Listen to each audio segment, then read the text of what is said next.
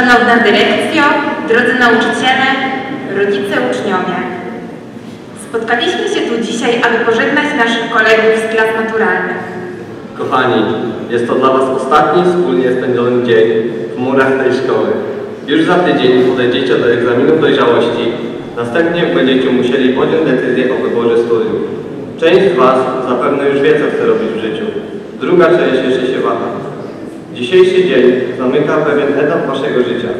Etap, w którym wkroczyliście w dorosłość, musieliście zmierzyć się z pierwszymi poważnymi problemami.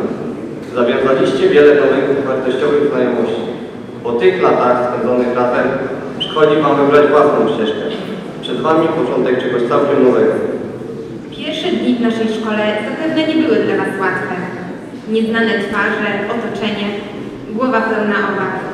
Pytania poradzę sobie, czy inni mnie zaakceptują? Byliście nieufni wobec siebie, baliście się zabierać głos w różnych sprawach, ale z dnia na dzień było coraz lepiej. Wspólne spędzanie przerw, wyjazdy integracyjne. Pierwszy rok minął niesamowicie szybko. Druga i trzecia klasa to przede wszystkim osiemnastki, ale także na dniach nauki i przemęczenia. Dziesięć miesięcy upłynęło nie wiadomo kiedy. Ledwo wróciliście do szkoły po wakacjach, a już przyszło Wam się rozstać, Jako młodszy kolega chcę życzyć Wam, byście nigdy się nie poddawali. Początki są trudne, zakończenia również. Mogę się domyślać, że nie jest Wam teraz łatwo. Musicie przecież pożegnać się z czymś, z czym do czynienia mieliście niemal codziennie przez ostatnie lata. Nigdy nie traćcie wiary w siebie. Pamiętajcie, że jesteście wartościowymi ludźmi. Wkroczcie w następny etap Waszego życia ze świadomością własnej siły, swych możliwości. Miejcie w sobie zapał i entuzjazm. Nie oglądajcie się za siebie. Bierzcie z życia to, co najlepsze. Myślę, że te lata spędzone w naszej szkole były doskonałym wstępem do dorosłego, dojrzałego życia i nauczyły Was pokonywania przeszkód. Zapewne nie raz myślicie sobie, że wskazówki dawane przez nauczycieli czy starszych kolegów nigdy Wam się nie przydadzą, ale zobaczycie, że jeszcze nie raz z nich skorzystacie. W imieniu wszystkich uczniów pragnę Wam podziękować za tak czynny udział w życiu naszej szkoły. Chciałabym, byście godziny, dni, miesiące spędzone w murach naszej szkoły uważali za udane. Wspominali je z uśmiechem na ustach. Bo szkoła to nie tylko nauka. To tak jak już wcześniej wspomniałam, nowe znajomości, przyjaźnie, wyjazdy, spotkania. Pragnę dodać jeszcze, że w życie człowieka wpisane są zarówno zwycięstwa, jak i porażki. Gdy coś Wam się nie uda, nie poddawajcie się, tylko dążcie do osiągnięcia celu. Pamiętajcie, człowiek uczy się przez całe życie, nie tylko wtedy, gdy, gdy siedzi w szkolnej ławce. Na koniec chcę Wam życzyć połamania piór na maturze, dostania, dostania się na wymarzone studia i spełnienia w życiu. Realizujcie swoje marzenia. Stawiajcie przed sobą nowe cele. Pamiętajcie o swoich nauczycielach, odwiedzajcie ich w wolnych chwilach. Dziękujemy.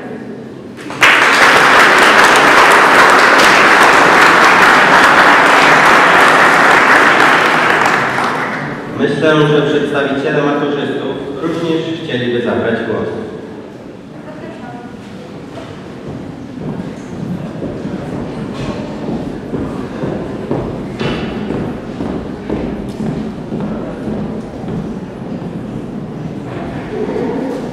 Niestety, dla nas absolwentów czas spędzony w murach tej szkoły dobiega końca. Już niebawem podejdziemy do matury, wybierzemy się na studia, rozpoczniemy prawdziwie dorosłe życie. Każdy z nas zamyka bardzo ważny rozdział, by móc z bagażem doświadczeń, zgromadzoną wiedzą i determinacją do osiągania nowych celów wyruszyć w zupełnie nowy etap życia. Szanowna Dyrekcjo, drogie grono na Wasze ręce pragniemy złożyć najszczersze wyrazy wdzięczności za wieloletnią współpracę, za wspólne przebycie drogi pełnej zarówno wzlotów, jak i upadków, chwil słabości oraz sukcesów, które zawsze będziemy wspominać. Chcemy serdecznie podziękować za zrozumienie, cierpliwość, chwilę wsparcia i motywację, której czasami niestety nie potrafiliśmy docenić. Jesteśmy wdzięczni za wiarę w nasze możliwości, nawet kiedy nam samym jej brakowało. Jesteśmy wdzięczni za pokazanie nam, jak wiele możemy osiągnąć przy choć odrobinie naszych chęci. W szczególności chcielibyśmy podziękować naszym wychowawcom, którzy przez lata wskazywali nam odpowiednią drogę, byli naszymi przewodnikami i wspierali nas w każdym momencie spędzonym w murach tej szkoły.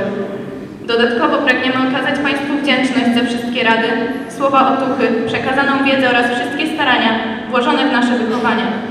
Co więcej, przepraszamy za przykrości, których niekiedy byliśmy przyczyną. Mamy jednak szczerą nadzieję, że odchodząc pozostawiamy po sobie jak najwięcej dobrych wspomnień, do których będą Państwo wracać z uśmiechem. Jednocześnie chcielibyśmy życzyć wszystkim nauczycielom kolejnych satysfakcjonujących lat pracy oraz sukcesów w życiu zawodowym i prywatnym. Oczywiście nie moglibyśmy zapomnieć o pozostałych osobach, bez których szkoła nie mogłaby funkcjonować. Pragniemy serdecznie podziękować wszystkim pracownikom obsługi i administracji, którzy zawsze służyli nam pomocą i stwarzali sprzyjające dla nas warunki do zdobywania wiedzy. Jesteśmy też niezmiernie wdzięczni naszym rodzicom, którzy zaszczepili w nas chęć do poszerzania naszych horyzontów, motywowali nas do nauki i kształtowali nasze charaktery. Dziękujemy za wsparcie, miłość wyrozumiałość. Mamy nadzieję, że patrząc na nas czujecie radość i dumę. Chcielibyśmy także podziękować naszym młodszym kolegom i koleżankom za przygotowanie tego pożegnania, za wspólne przeżyte lata w tej szkole i cudowne znajomości, sympatie oraz przyjaźnie. Wspominajcie nas jak najlepiej. Po podziękowaniach nadszedł czas na najsmutniejszą część dzisiejszego dnia, na pożegnanie. Powtarzając słowa Józefa Piłsudskiego, być zwyciężonym i nie ulec to zwycięstwo, zwyciężyć i spocząć na laurach to klęska. Chcielibyśmy w swoim imieniu życzyć pozostałym absolwentom, aby nigdy nie spoczęli na laurach i ambitnie sięgali po dalszą edukację oraz aby nigdy nie zatrzymali się w drodze do wyznaczonych celów. Ponadto, żegnając się i opuszczając mury tej szkoły, zgodnie ze słowami Winstona Churchilla pragniemy wierzyć, że to nie jest koniec. To nawet nie jest początek końca, to dopiero koniec początku.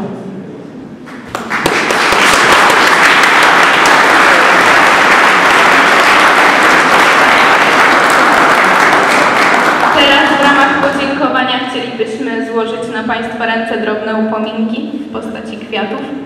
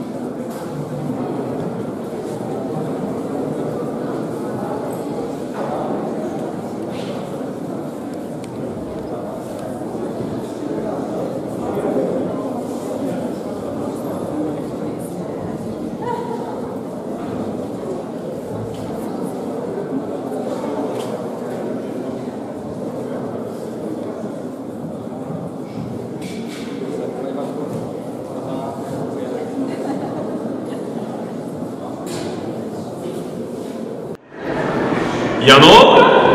Co Janowa tutaj robi? A, bo ja słyszałam, że tu jakaś impreza, że tu jakieś pożegnanie absolwenta, no to sobie pomyślałam, że i ja wezmę. Janowa! To nie przystoi! Nie godzi się! Aj, tam się nie godzi, aj, tam się nie godzi. Nada się? Nada. Janowa od dyrektora mi bara. Ja, nie wolno, bara. Mówisz browara? Browara też mam i chętnie cię poczęstuję. No, nie tutaj. Janowa. Janowa dosyć. Dosyć tego całego szukania, wyciągania. Spokojna głowa, do wciągania też się coś ich znajdzie. Ale obawiam się, że raz, dwa, trzy, cztery, łomatko, ile ludzi. Na tylu nie starczy. Ale z tobą się nie podzielę. Ze mną to wszystko ja mam. No, ale ja mam, dzisiaj mamy ważną uroczystość. Żegnamy absolwentów tej szkoły, nasze drogie koleżanki, drogich kolegów. No i Janowa, ja, ja Janowie radzę iść do szkoły, tam posadzić bratki, kwiatki, tulipanki, piwonie, no ale nie takie piwonie. No to może Janowa pójdzie zwiedzić szkołę. Dobra, tak? To zwiedź, to zwiedź. No dobrze, dziękuję.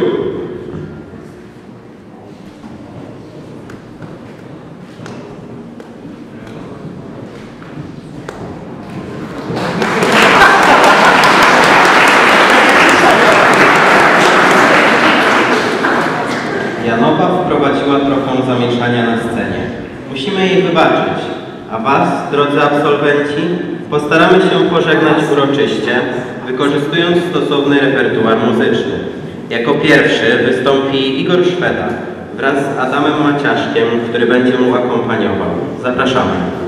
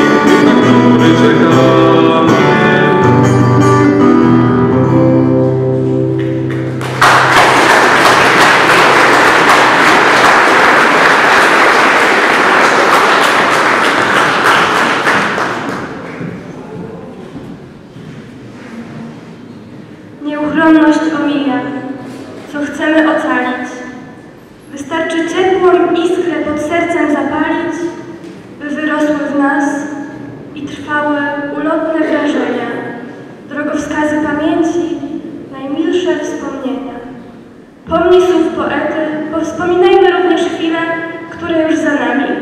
Koledzy informatycy przygotowali pokaz slajdów, a Konrad Szymanowski wykona piosenkę z repertuaru Maryi Rodowicz.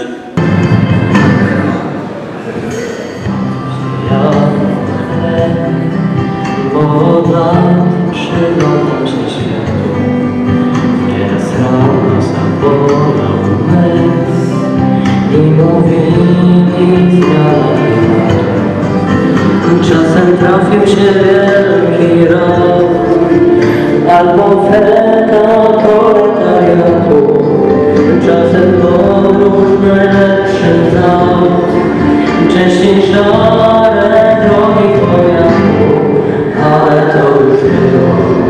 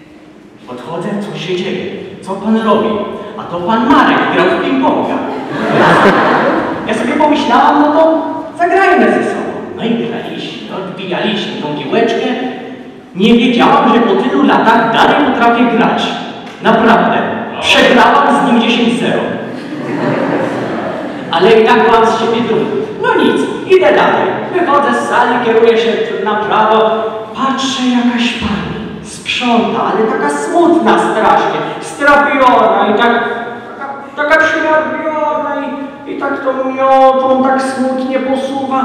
No to ja do niej pytam, co się dzieje, czemu pani taka smutna? A ona, no bo tutaj chodzą cały czas, płacą tymi buciorami, czas nas sprzątać. No to ja mówię, pani poczeka, ja pani pomogę. Wzięła jej miotłę w jedną rękę, w drugą, miała być miotła. Wzięłam w obie ręce, pozamiatałam w jedną stronę, w drugą stronę. Polatałam na jej miotle i od razu się rozweseliła. Jak posprzątałam, to nikt tak nie posprzątał. I ona się ucieszyła i mi rękę uścisnęła i ja byłam bardzo szczęśliwa. Ja byłam z tego bardzo szczęśliwa. Ale idziemy dalej. Idę, patrzę, sekretariat. Oho, puk, puk, puk. Kto tam, kto tam słychać? A to ja wchodzę, a tam pani Ola sekretarka. Siedzi, taka smutna też. No to pogłaskałem i pytam, co pani taka smutna? Co się dzieje? Ona mówi, a bo tu cały czas trzeba wypełniać te, te świadectwa, wpisy, wypisy, opiekówki, głowa mała. No to mówię, pomogę pani. Co się będzie pani sama męczyła? No to wzięliśmy ten liczek tych dokumentów, ustawiłyśmy, ładnie zasiadłyśmy i wzięłam te dokumenty, wywaliłam, wzięłam zapalniczkę, zaczynałam dzwonić, tobie, podpaliłyśmy wszystko, srób, nie ma, nie ma dokumentów, koniec. Cisza.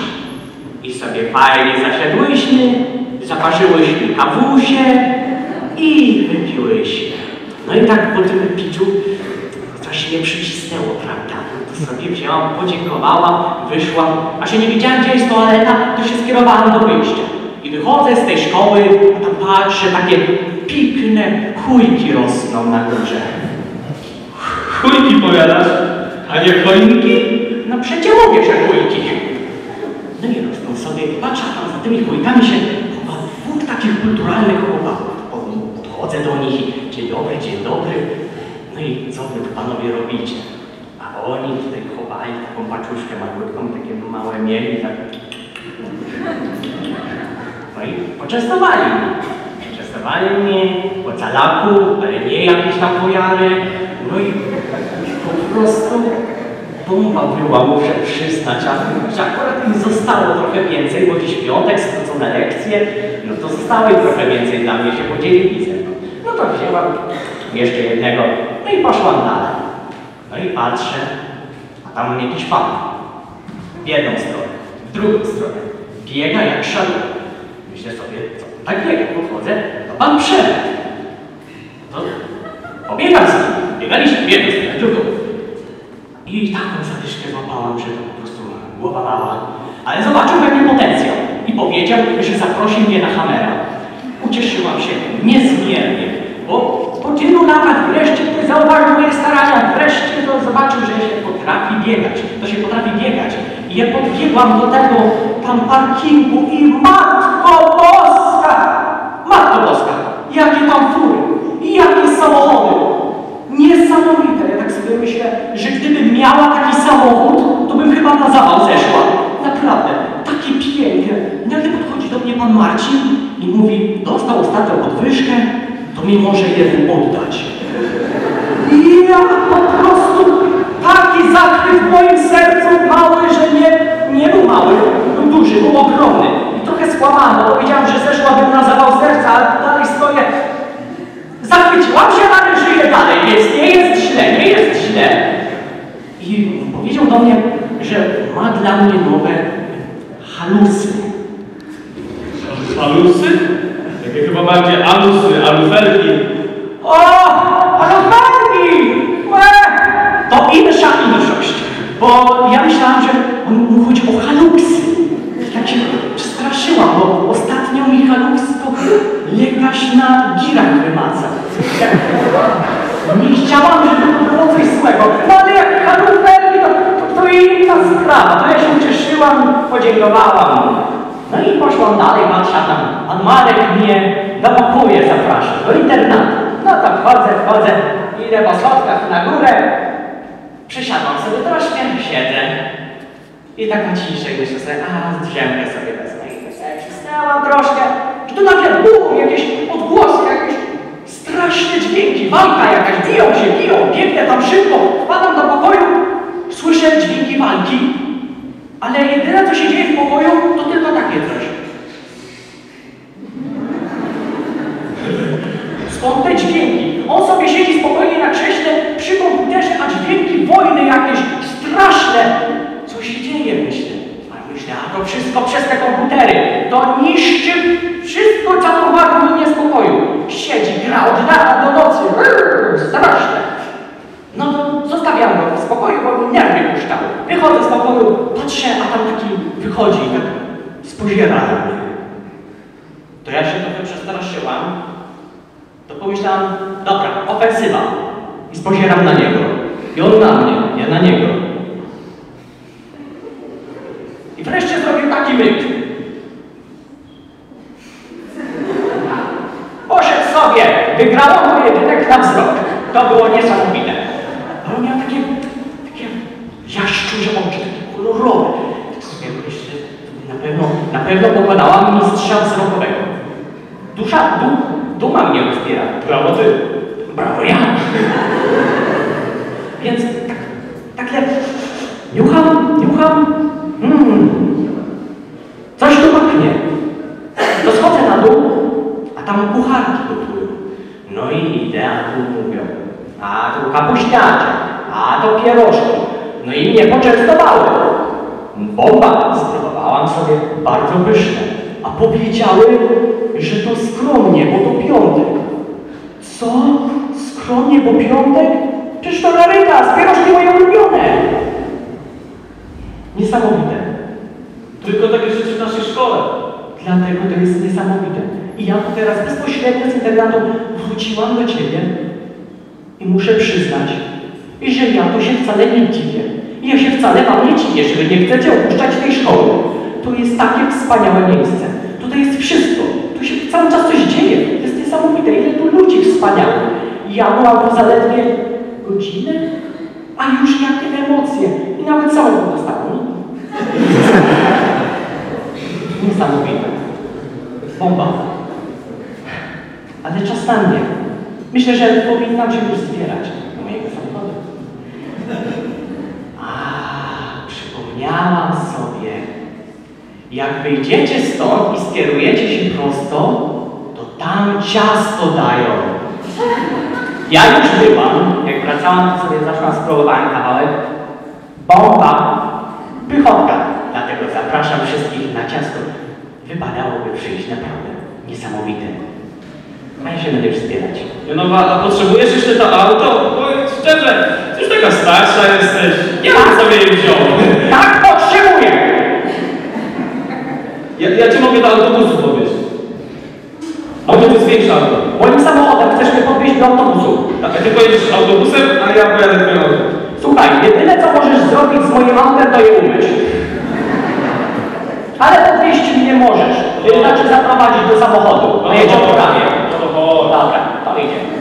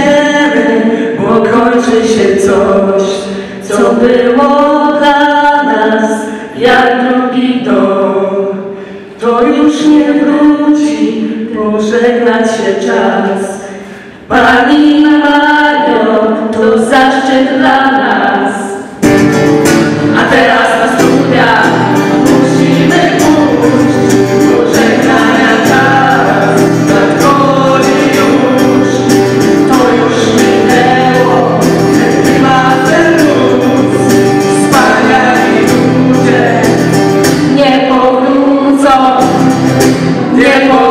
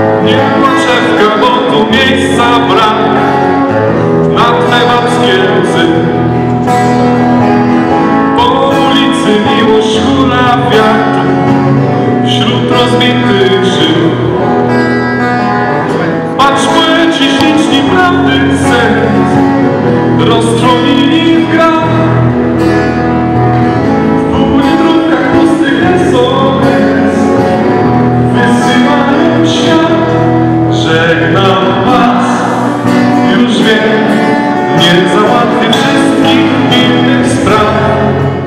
Idę sam, właśnie tam, gdzie czekają mnie. Tam przyjaciół kilku mam od lat, dla nich zawsze śpiewam, dla nich gram. Jeszcze raz żegnam was, nie spotkamy się.